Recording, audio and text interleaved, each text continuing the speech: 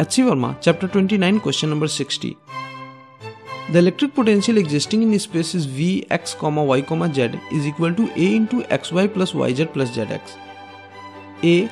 Write the dimensional formula of A. B. Find the expression for electric field. C. If A is 10 SI units, find the magnitude of the electric field at 1 meter, 1 meter, 1 meter. Since V is equal to A into xy plus yz plus zx, Therefore, the dimension of V must be equal to dimension of A into dimension of xy plus yz plus zx. Since V is potential energy per unit charge, its dimension is dimension of energy divided by dimension of charge.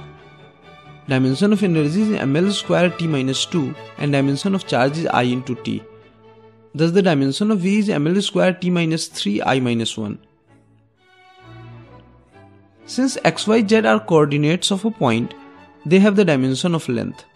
Therefore, the dimension of each of xy, yz and zx is L square. Hence, the dimension of xy plus yz plus zx is L square. Putting these values, we get ml square t minus 3 i minus 1 is equal to dimension of a into L square. This implies dimension of a is equal to mt minus 3 i minus 1.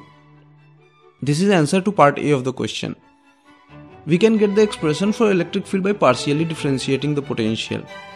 The electric field vector is given by minus of partial derivative of v with respect to x into i cap minus partial derivative of v with respect to y into j cap minus partial derivative of v with respect to z into k cap.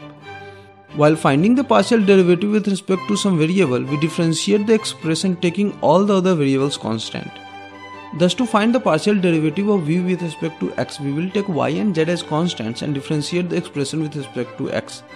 If y is constant, the differentiation of xy with respect to x is y.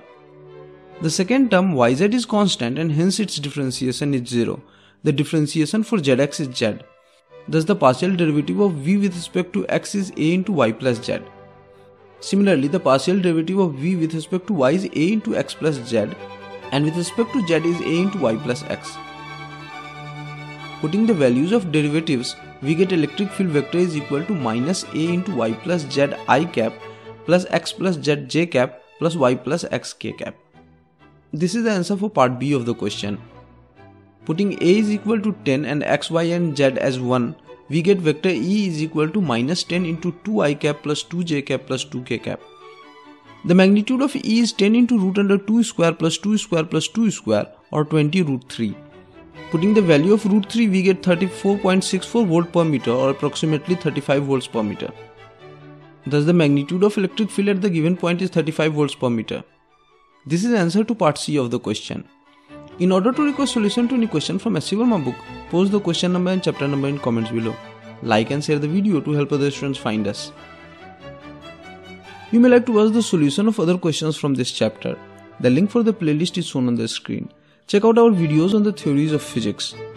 Subscribe the channel, like our Facebook page, follow us on Twitter and support us on Patreon. The links are given in the description. Thank you for watching.